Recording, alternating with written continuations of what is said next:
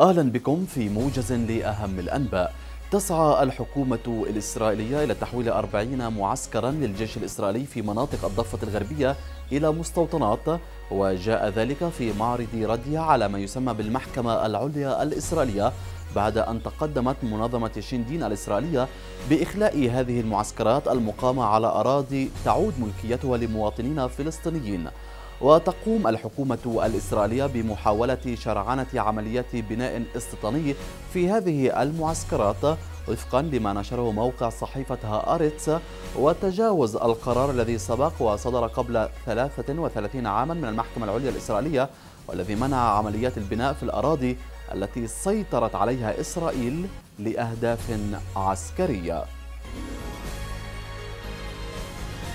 يخوض الأسرى في كافة سجون الاحتلال إضرابا عن الطعام ليوم واحد فقط دعما للأسرى القدامى واحتجاجا على سلسلة الاقتحامات والمداهمات من قبل إدارات السجون المتكررة.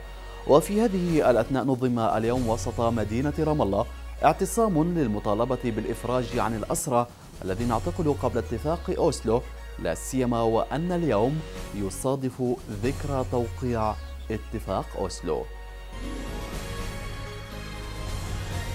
أعلن الجهاز المركزي للإحصاء الفلسطيني أن مؤشر غلاء المعيشة خلال شهر آب من عام 2012 سجل ارتفاعا مقارنة مع الشهر السابق في الأراضي الفلسطينية وهو الأعلى منذ ثلاث سنوات. ويتزامن هذا الإعلان من جانب الإحصاء في ظل موجة الاحتجاجات التي تجتاح الضفة الغربية ضد الغلاء.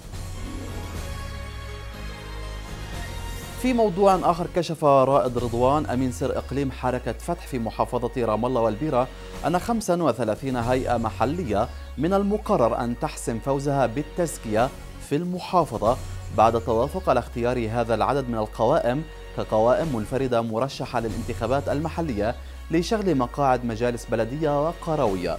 وبخصوص المنافسة على مقاعد بلدية رام الله قال رضوان يتنافس على مقاعد بلدية رام الله قائمتان الأولى تحمل اسم المستقبل برئاسة جانيت ميخائيل وتضم ممثلين عن معظم فصائل منظمة التحرير وخاصة حركة فتح وتنافسها قائمة المطورين وتضم مجموعة من رجال الأعمال.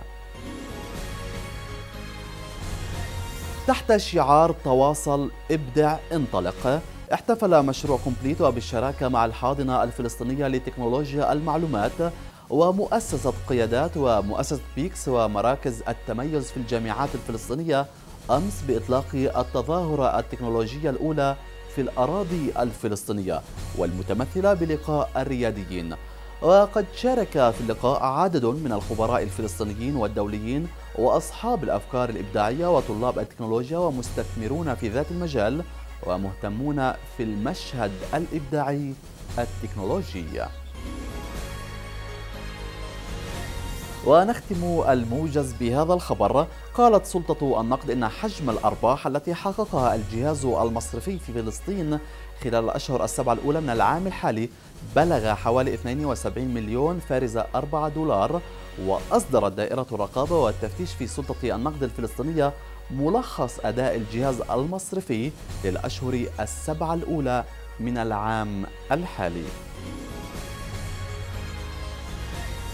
نهاية الموجز لمعرفة المزيد من التفاصيل بإمكانكم زيارة موقع وطن الإلكتروني وطن دوت تي في. أما الآن فدمتم برعاية الله وإلى اللقاء.